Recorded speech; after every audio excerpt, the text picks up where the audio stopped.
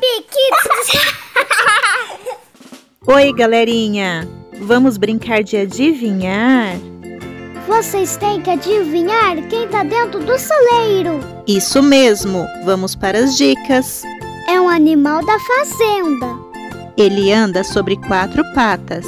Come frutas, vegetais, ração e até animais pequenos. Ele tem pelos pelo corpo e um rabinho enroladinho. Ele tem um focinho engraçadinho que parece uma tomada. Esse animal muitas vezes se cobre com lama para se refrescar. Vamos ouvir o som que ele faz. Você já sabe que animal é esse?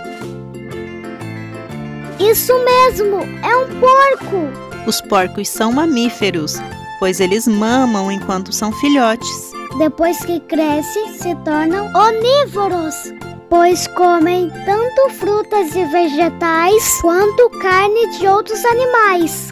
Isso mesmo. Espero que tenham gostado. Tchau! Tchau! Até o próximo vídeo!